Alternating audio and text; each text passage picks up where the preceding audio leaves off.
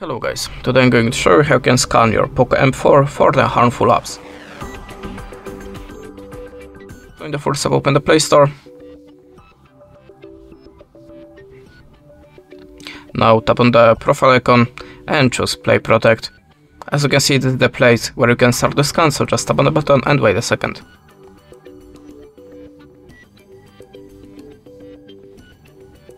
The scan is done, we are safe and this is the way how you can do it.